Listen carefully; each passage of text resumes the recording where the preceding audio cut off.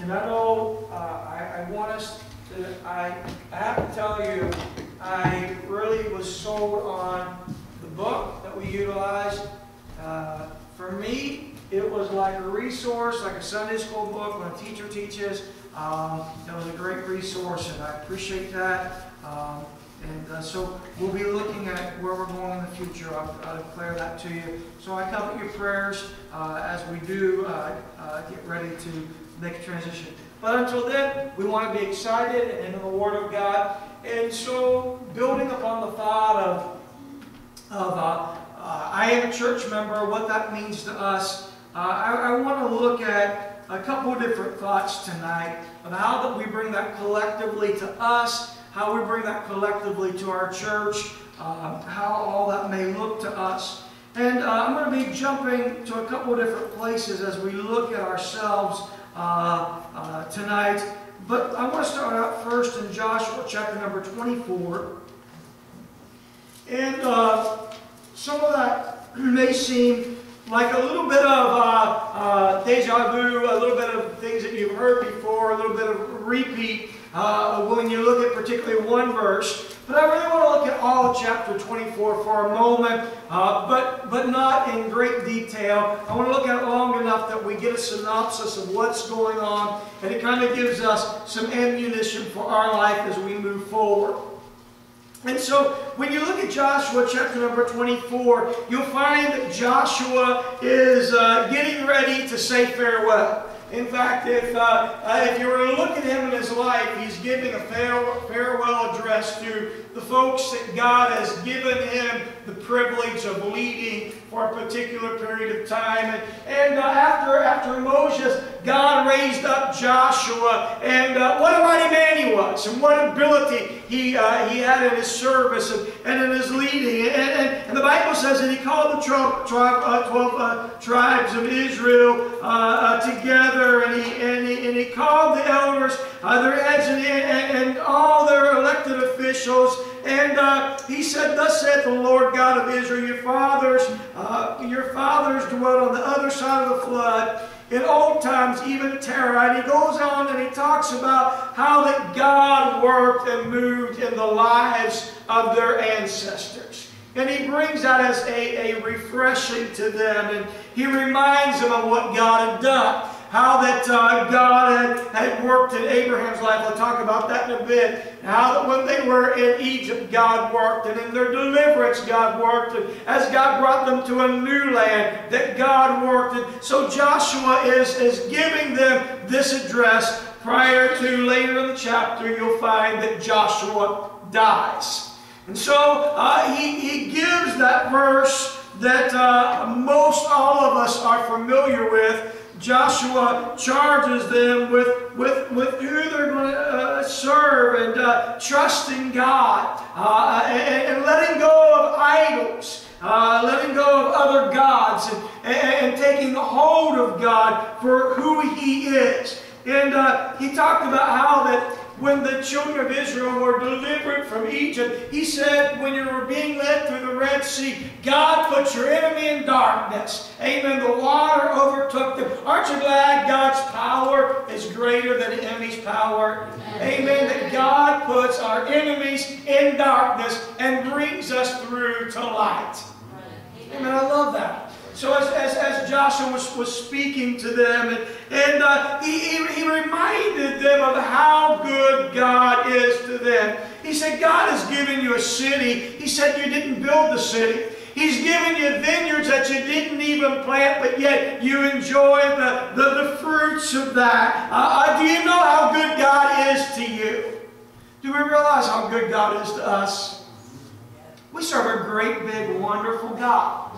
Amen. We really are partakers of things where some of us didn't labor. Amen. Even in the early years of this church, we didn't labor there. We, we're, we're blessed with the fruits of, uh, of things, but, but more so, we're blessed with the fruits of righteousness. So thank God for that.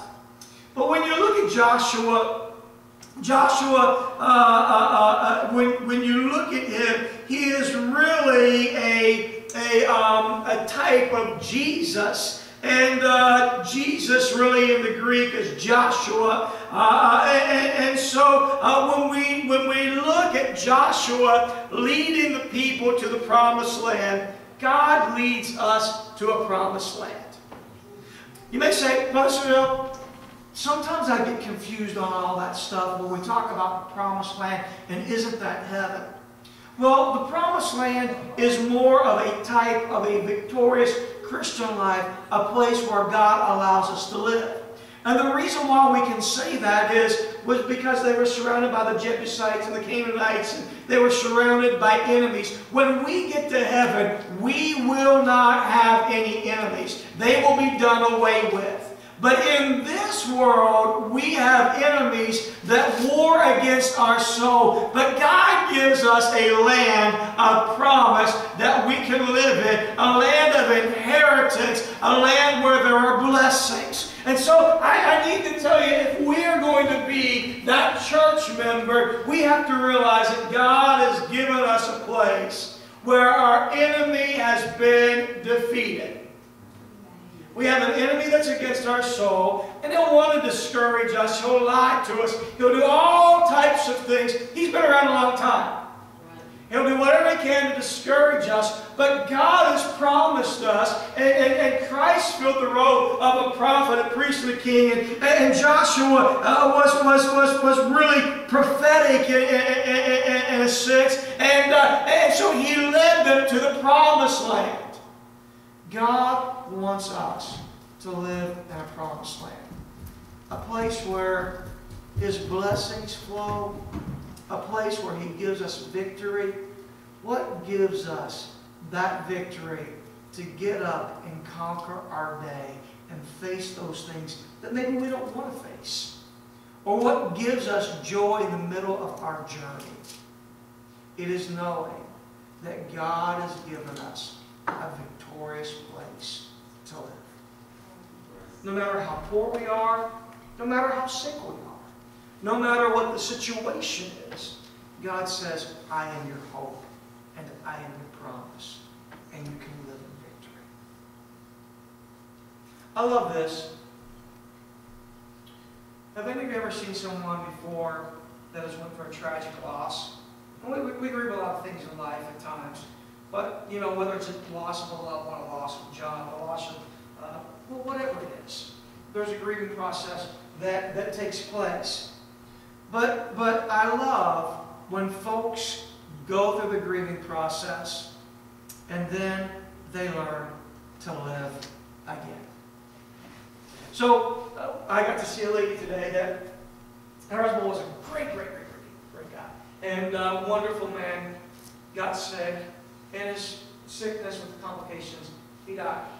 Her through the years. Our journey has allowed us to cross paths.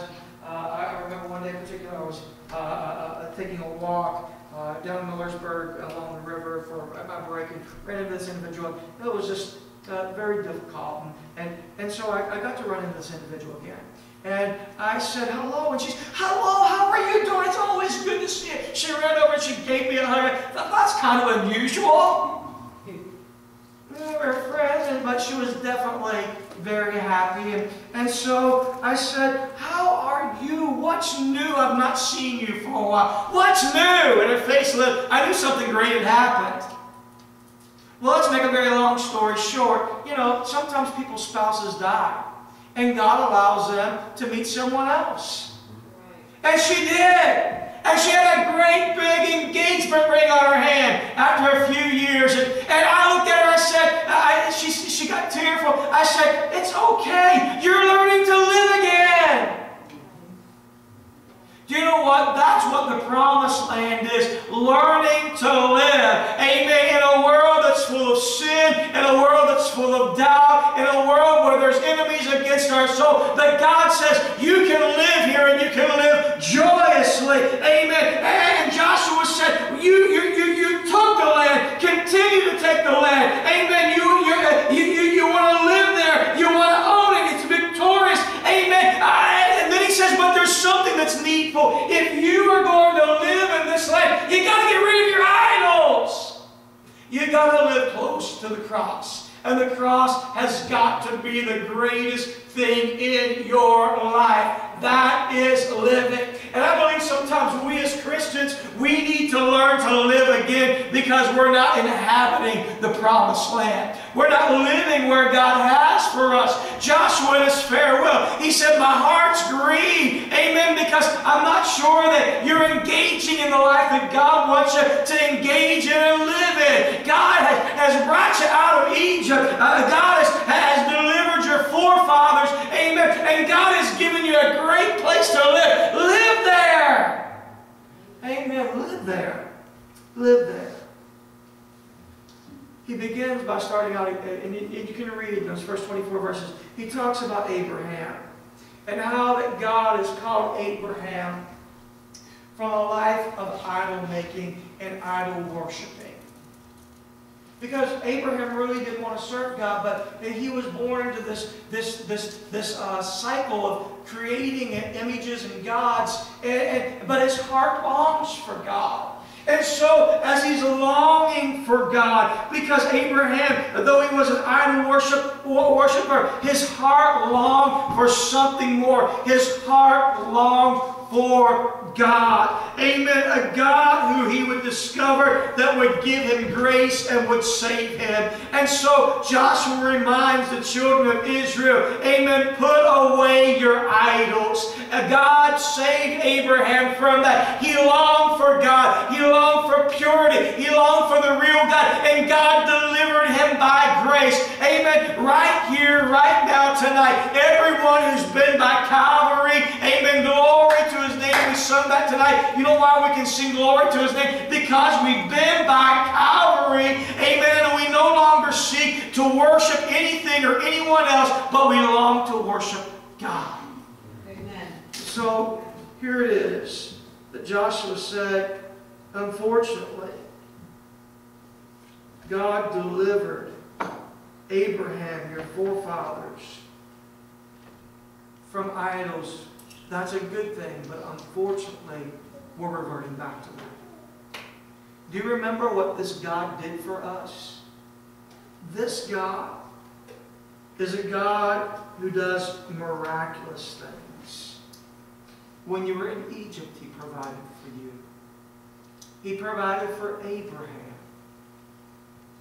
He delivered you from Egypt. He brought you through the wilderness. And He provided for you. And then the reminder of what Hebrews 3, 13, 8 says uh, for us today, that Jesus Christ is the same yesterday, today, and forever. We have to know that God doesn't change. He's still a miraculous God who's working in our midst, and we have to expect that. And then Joshua says to him in verse number 23, he says, Joshua said unto the people, you are witnesses against yourselves that you have chosen you the Lord to him, uh, uh, you, you the Lord to serve him. And they say, we are witnesses. In verse number 23, he says, Now therefore put away he said, the strange gods which are among you, and incline your heart unto the Lord God of Israel. Amen. Despite the great things that God had done for him, for them, they still allowed their heart to yearn after things that was displeasing to God. If we are going to be a church member and we're going to be an effective church member, there is going to be that place where we keep Jesus Christ as the center of our life. Amen. As we remember the blood of Jesus, when we remember the cross of Calvary, when we allow the power of the Holy Ghost and to sanctify us daily throughout our lifetime, when we keep that as a center, that's when we are an effective church and we're an effective church member for the kingdom of God. So we have to remove the idols how quickly it is we forget what God has done for us.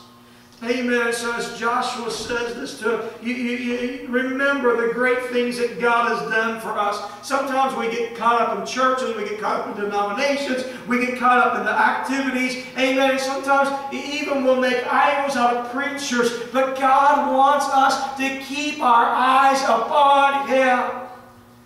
What are the things? God has done great things in our life. Let's remind ourselves. We just heard how God touched Brother Eli. The powerful service we had on Sunday night. If you weren't here, Brother Eli, he was slain out in the Spirit on Sunday night. Amen. God touched Brother Eli. And then he testifies of God healing his body, and it was evidence on Monday morning. We heard about God touching Sister Jan's sister-in-law. She was very concerned about this mass and the seriousness of the surgery, how long it would last. God touched and, and was with and gave successful outcomes. Amen. We serve a mighty God. And the list goes on down through our history. We need to remind ourselves of that. That we don't allow anything else to take the place of Jesus Christ and Him crucified and resurrected. I like what this is saying, I even at the end of fifteen. What is it? It says, but as for me and my house, we will serve the Lord. Amen. Very familiar, probably the most prominent verse out of this whole chapter. We know that. That Joshua makes that declaration there at his farewell as he's getting ready to die. What a great legacy he leaves to his family. We've talked about that a lot recently, leaving a legacy. And that legacy of, of as for me and my house, we're going to serve God. Amen. That's a legacy that, that, that we're going to leave. And so Joshua, uh, uh, his leadership, he's, he's, he's, he's not just simply uh, talking about some religious hierarchy. He's talking about the hand of God working and moving in their midst. You know what? I don't want this church to be talked about as a religious hierarchy, but what the hand of God does in our midst. Amen. The hand of God is able to comfort. Amen. Sometimes this is what I pray because I've struggled sometimes with faith and my seeing. You know, we, we, we, we, we, can, we can make fun of Thomas and call him doubting Thomas. God, I'm not going to believe till I thrust my hand, till, I, the, the, the, the, nail prints, till, till I, I, I feel the wounds. But when he saw it and he experienced it, he believed. So sometimes I just say, God, take your nail scarred hand, let me hold it so that I can believe. Let my faith be a reality. My faith is wavering. So God, help me. Help me to reflect and look and realize that I don't need anything else but you. You have been faithful. And I don't want anything else in my life to be an idol. I trust you with this. Amen. So, so that should be the challenge of us as individuals and as a church. Amen. That, that, that the, the, the Bible and, and the cross of Jesus Christ is the center of our worship and the center of our affection. How do we do that? How do we best do that?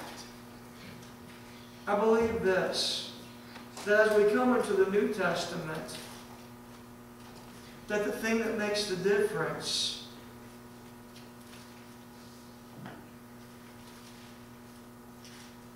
is the Holy Ghost. Amen. Amen. The Spirit of God. It's interesting that we look and we see that when we look at Pentecost, and we are Pentecostal, I still believe in Pentecost. You know, uh, I believe that salvation is a very important, it is vital for salvation. There's no other way but through the blood of Jesus Christ, salvation. But I believe equally so that we as believers should take on the doctrine of sanctification as well. It's easy to practice salvation, the blood of Jesus Christ, and confessing our sins and asking them to our heart. But it's something else when we take the next step and we live this life, lifetime of allowing the Spirit of God to sanctify us. And so here they are in the Old Testament, and Joshua reminding them to get rid of their idols. Get rid of them. Keep God number one in your life. I'm about to go off the scene. Moses brought us. God was faithful with Moses. I'm about to go off the scene. I brought you into a land that you're inhabiting that you, you, didn't, you didn't labor for any of this stuff, but God blessed you with it because it's the promise of God, Brother Justin.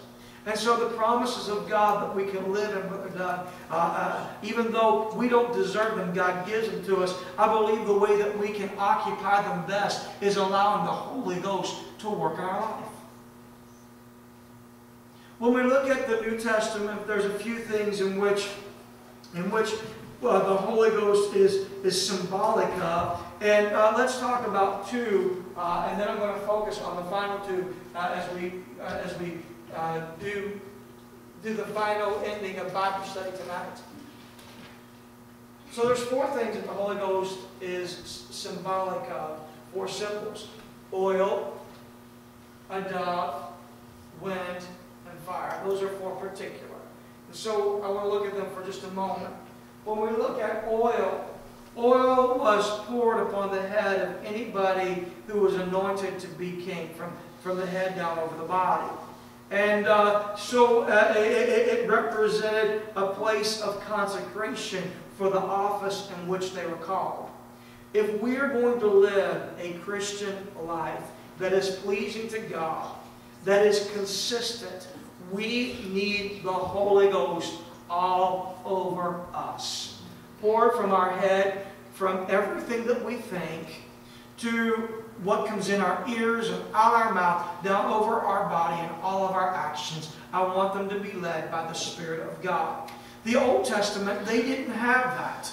Amen. They didn't have the Holy Ghost. Amen. They were still working on sacrifices. Amen. Joshua was reminding them of the faithfulness of God and encouraging them to be faithful. But once Jesus came, amen, and he became the supreme sacrifice, he then opened the floodgate of heaven for the Holy Ghost to be poured out. He said, I must go away, but I will send you another comforter. Amen. Uh, that same spirit that anointed Jesus, that was upon him to, to, to heal the sick, to, to, to, to, to break the chains, uh, uh, uh, is the same spirit of God that is in us and upon us when we seek the Holy Ghost. Amen. Amen. We need the Holy Ghost. Amen. And so, having the Holy Ghost poured out upon us, the second thing that I see is a symbol of the Holy Ghost is not only the oil, but is the dove.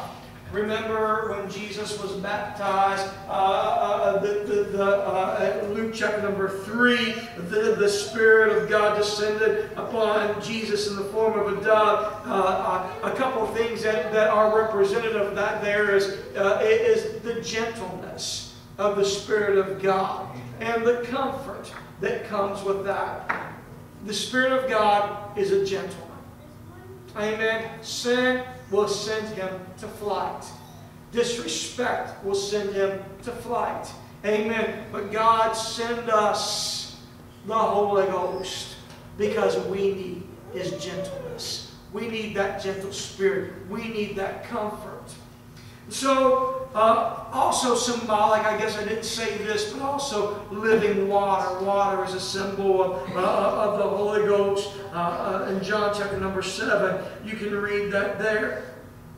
And so, when we read about the outpouring of the Holy Ghost in Acts chapter number 2, we read, and there's two things that are pretty prevalent about the Holy Ghost, and that, and that is that it was a mighty rushing wind and it was cloven tongues like as of fire.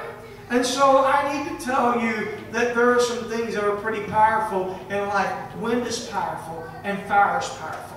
Both of those two elements in itself are powerful. Now understand that the enemy is powerful. Satan and all of his devices and all of his schemes are powerful. But the Spirit of God is more powerful than even the enemy. Amen, Brother. You said it well last week. The enemy has been around a long time. And so he is wiser, he is more deceptive than anything our minds can even imagine. And so we are no, uh, we are no uh, uh, uh, rival against the enemy within ourselves. We will never conquer Satan. But when the power of the Holy Ghost gets in us, amen, and uh, He begins to work in us, we can have authority over the forces of hell. Right. Amen. We can take authority over that.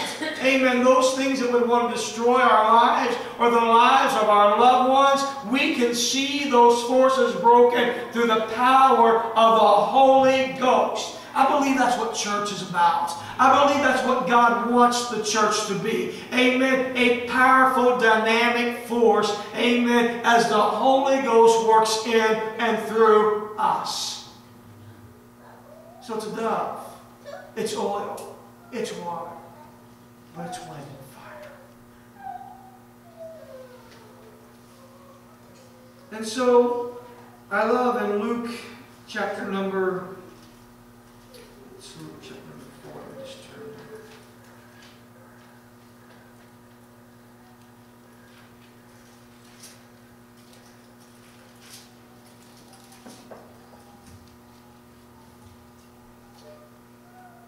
Verse number one, Jesus being full of the Holy Ghost returned from Jordan and was led by the Spirit into the wilderness.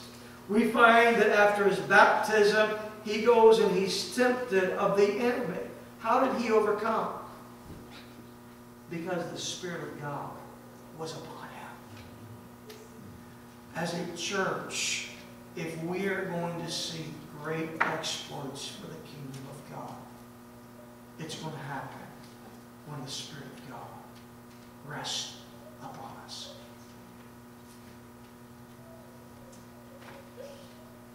There are times in our lives, and from my experience, there are times where our thoughts can wonder, how am I going to do this? How am I going to say? How am I going to respond? How, how am I going to handle the situation? But then we enter that place of prayer where the Spirit of God just allows every one of those thoughts to flee. And we realize that this is not by our might and it's not by our power, but it's by the Spirit of God. You hear it? It's not by our might. It's not by our power.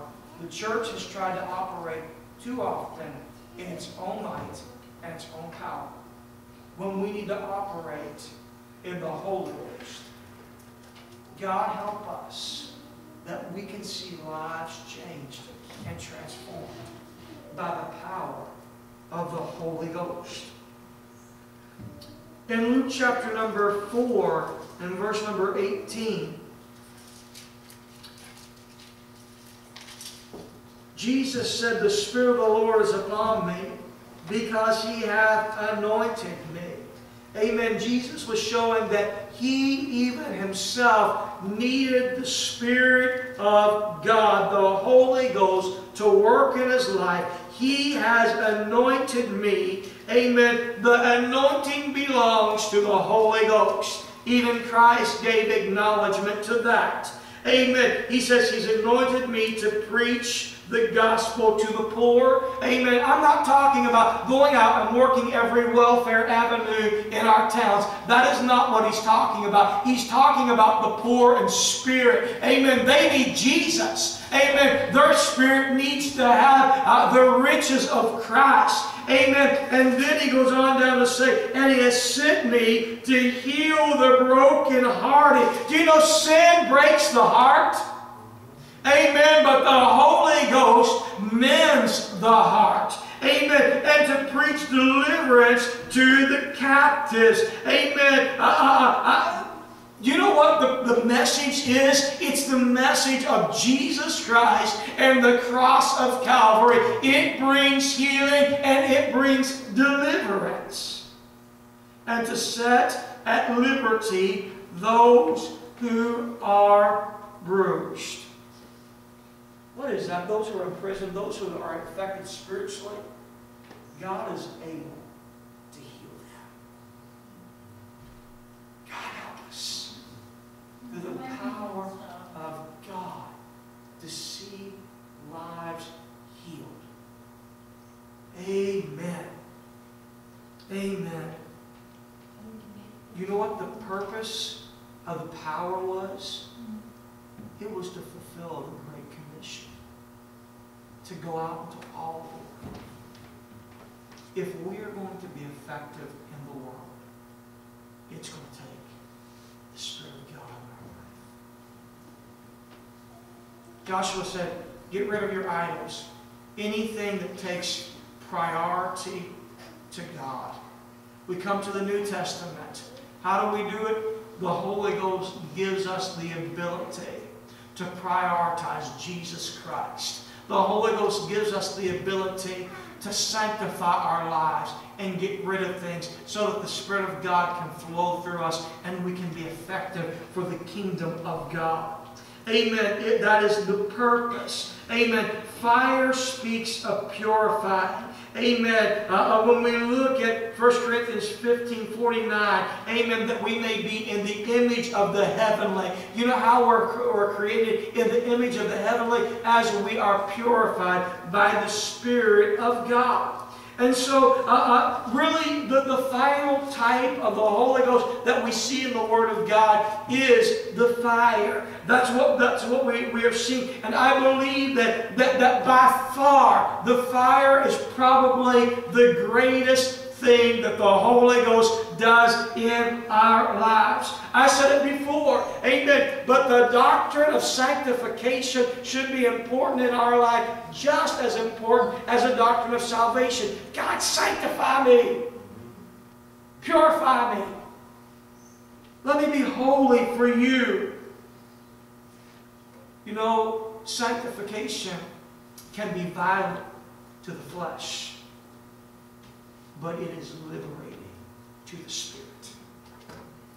Can I say that again? Sanctification can be violent to the flesh. It can be hard. It can be difficult to eradicate ourselves of sin. But it is liberating to the spirit that is within us. John the Baptist said, I indeed baptize you with water unto repentance, but but but it is he that cometh after me, whose whose who, whose shoes, I'm giving you my my my my my, my verbiage, whose shoes I'm not worthy to bear, shall baptize you with the Holy Ghost and with fire. I want to close with this thought. Back in Bible times, when they would harvest. And you can read Matthew chapter number 3. Let me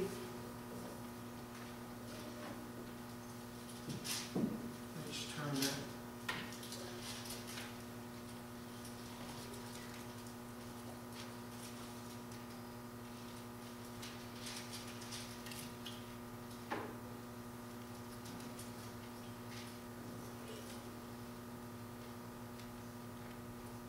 He goes on down to St. John the Baptist, whose fan is in his hand, and he will thoroughly purge his floor. That means to bring forth more fruit. Gather his wheat unto the garner. It's everything that the Spirit of God does within us. And he will burn up the chaff with unquenchable fire. In this day and age, when they gathered the wheat, we don't really much think about this because our food is processed and given to us. We don't have to think about the process of growing and harvesting and, and getting the maximum from what we harvest. But what they would do is they would take that wheat, they would put it on the threshing floor, Round about that, they would walk upon it, they would uh, beat upon it, they would uh, run carts upon it so that they would get that wheat off. And then they would throw it up in the air and they would fan it so that the wind would give them the most optimal harvest. And then, uh, uh, as, as, as they were there, Brother Doug, the chaff, the things, Sister Dot, that, that were no value to them, they would take it out and they would burn that. Sister Rachel, no need for Sister Beth. It was not necessary. And they would harvest the good stuff. Brother uh, Al, this is what this is what the Word of God says to us. That the Holy Ghost does that in our life. that He burns out the chaff. He gets rid of the things that aren't profitable. And He puts in us the harvest that one day God is going to reap from us. Why do we need the Holy Ghost? It will help us value our time. It will help us value what we should do in the light of eternity for the glory of God. It will help us begin to decipher and determine what are the qualities that are godly qualities in our life and what are not. And God will eradicate those qualities that aren't good. You see, because we were born after our first father, Adam, and we were born into sin, and we inherited the sin nature from him. Everyone who's born after Adam, the fall of Adam, we are all products of that. And so it affects the way we think, it affects the way that we live our life. But the second Adam, because he loved us, came to save us from that fallen nature. Now, when we get saved, Jesus doesn't leave the throne of, of, of, room of heaven. He still sits on the right hand of God, ever making intercession. But the Holy Ghost makes the work of Jesus Christ real in our life, and He comes and He dwells in our hearts. That's salvation. Then when we seek Him to be filled with the Holy Ghost with evidence of speaking in other tongues, that's the fullness of the Spirit. That is being baptized in the Holy Ghost. And when we allow the Spirit of God to work in our life, He eradicates that old sin nature. He says the best part of the harvest in you is the wheat. Let's get rid of the chaff. And the Holy Ghost burns it up. And the wind of the Holy Ghost Amen. It eradicates the good stuff and it, or it, it, it, it, it takes the good stuff from the bad stuff. It eradicates the bad and keeps the good so that one day in eternity, the only thing that is harvested in our life are the qualities that Christ wants in us. That is how we're an effective church member. By saying, I'm living in this promised land God has given to me. I don't deserve it, but I'm dwelling there. The cross has given me a promised land. The Holy Ghost has given me a promised land. I'm going to live and eat here. And I'm going to do all that's within me through the power of the Holy Ghost. And keep Christ first. I'm going to value my salvation. And I'm going to honor sanctification. And in this lifelong process, allow the Spirit of God